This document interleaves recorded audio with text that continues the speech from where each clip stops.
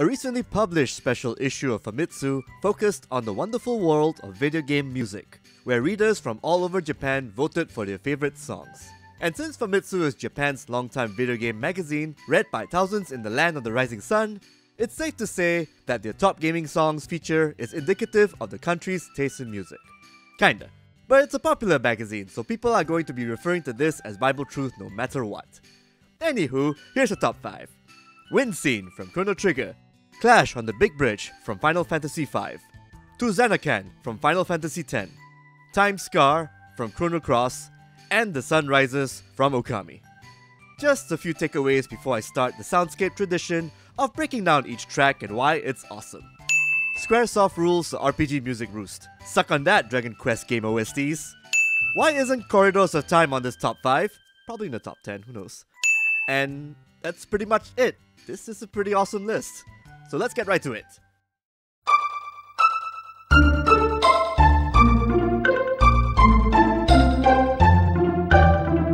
This song plays when you warp back to 680 in the game's version of Earth. So, composer Yasunori Mitsuda had to come up with something simple and piano-like to portray the medieval ages setting on an overworld map.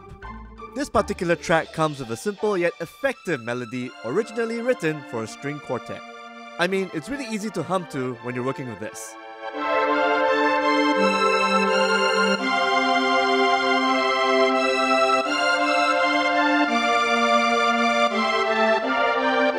Coupled with piano synth key sounds that just feel nostalgic and classical, this Chrono Trigger theme is legendary for all the right reasons.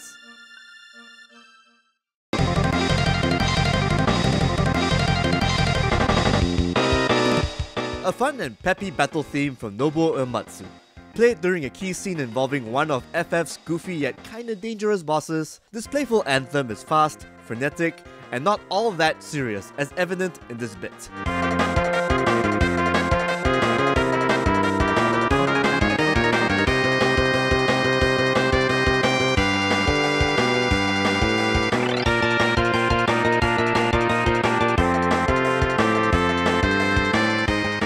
On the side note, I also talked a bit about FF battle themes, so do check that video out, it's pretty rad.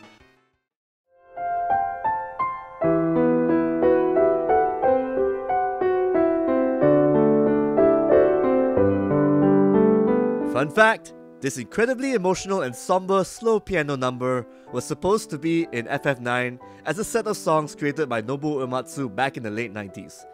But as you can tell from the finished game's aesthetic choice, it's not going to fit.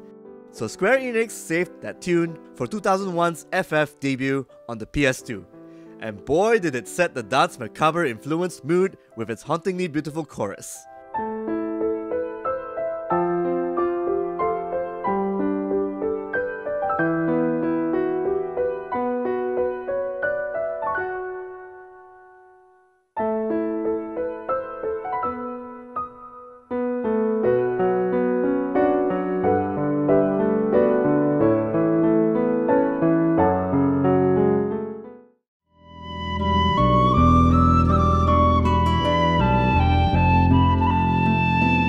Yasunori Mitsuda created piece starts off slow with some wind instruments to calm your nerves.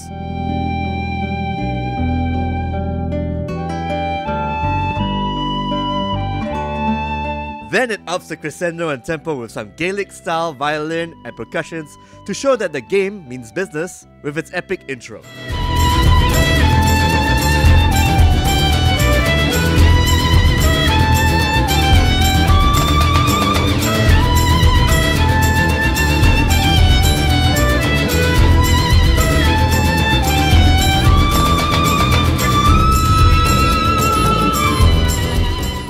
Song is masterfully done that it made us almost forget how dated the CG is now. We don't care. Time Scar was the perfect intro song to the eventually nihilistic narrative of this chrono game. I mean, Jesus, it's really dark.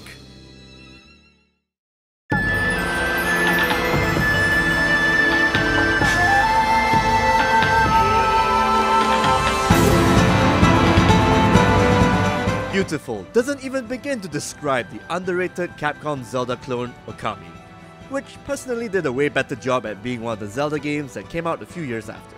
I'm looking at you, Skyward Sword and Twilight Princess. The game's entire soundtrack is epic, colorful, enchanting, traditional, and is a huge love letter to Japan's mythology and history. And then it caps off the final boss fight with this uplifting anthem that uses traditional instruments to get its uplifting point across.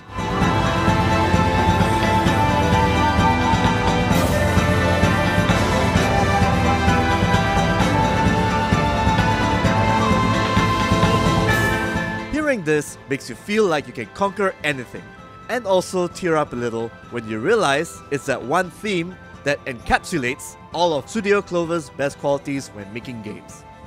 Yeah, it sucks that this game didn't get the sales it needed, despite critical acclaim.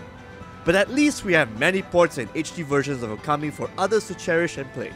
You have no excuse to miss out on the game and its eclectic soundtrack, as well as this cherry on a sundae musical number that symbolizes national and creative pride among its creators, its fans, and the country they live in.